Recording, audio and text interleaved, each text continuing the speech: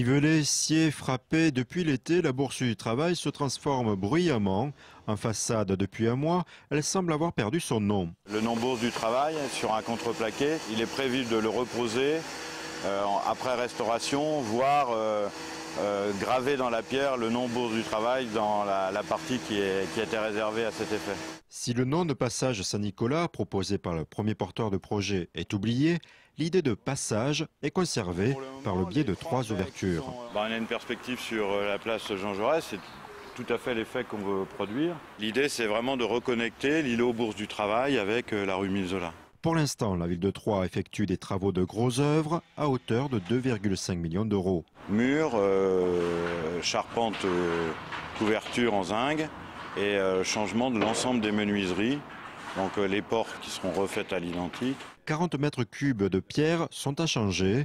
La finition de cette première tranche de travaux devrait se terminer au printemps 2012. À la fin, à la fin il y aura une harmonisation euh, entre les pierres qui sont changées et les pierres qui ne sont pas changées. Quatre promoteurs ont été présélectionnés. Le choix sera entériné en fin d'année par la mairie. Leur projet prévoit des aménagements sur près de 2000 m2 de surface au sol, derrière la bourse.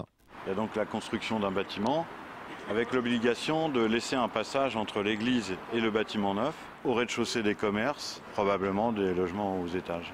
Suite au déboire du premier projet, les enseignes culturelles sont bannies.